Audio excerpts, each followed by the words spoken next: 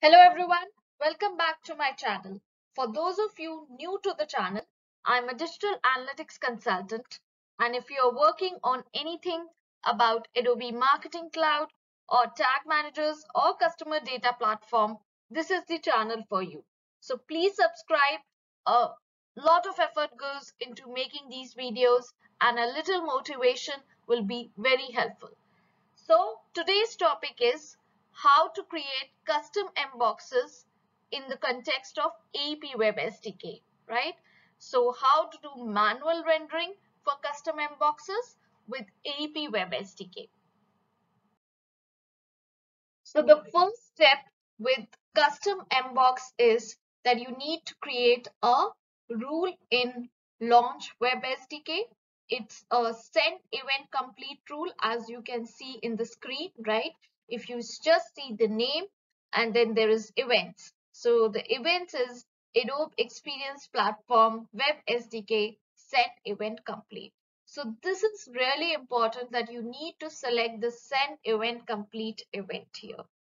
And then you have the custom code configuration, right? So custom code configuration we will discuss in detail in the upcoming video. But for this right now, you need to understand that first you need to create a rule in the uh, launch web SDK and that rule should have this event called send event complete. So this is the first part of the custom code where we are requesting the scope and then checking for the proposition. So if, as you can see here, the first is that we are using alloy send event, right?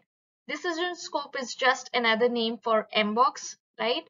So here the decision scope that we are requesting for is home page. And then once we have requested for home page, if there is a result, then what we are doing is we are running this function here, right?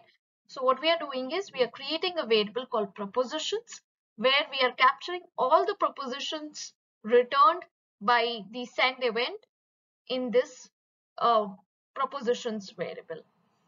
Now we will iterate through this propositions array and then we will see if there is any proposition whose scope matches home page, which was the scope that we requested for. And if that happens, then we are taking that proposition into hero proposition. We are allocating that variable hero proposition and we are assigning whatever, matches the scope home page, we are assigning that to hero proposition. In the next part, we are saying that if hero proposition exists, then we are iterating through that as well. We are iterating through the items of hero proposition. And then if we are checking, we are also checking the schema. Schema is optional condition, right? And then we are taking the content of the hero proposition items, right? So whatever items uh, this has returned, we will iterate through that and check and take the content. Content is basically your custom code or whatever you have done inside your activity, right? For example, you have changed the headline. So that would be inside the content. So we have taken that content inside Hero HTML, right?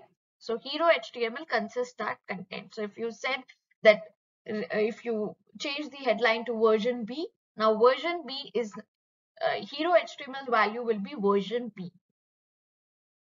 So now we are here doing the manual rendering of the code and then we are sending a display event. So manual rendering here, hero element is the button that we want to change the headline of. So we have changed the hero elements inner HTML to the hero HTML, which was basically version B or whatever content that we have inside our activity, right? The value of hero HTML will depend on the content of the activity. And so we have changed the inner HTML of hero element with that. So that's the basic part of manual rendering followed by sending a display ev event. So the event type is decisioning.proposition display. And then if you look inside the propositions array, you have the activity ID, scope and scope details, right? So this is what we have done here. So this is what I wanted to share. Let me know in the comment section if you have any questions. Do like, share and subscribe. Happy learning everyone.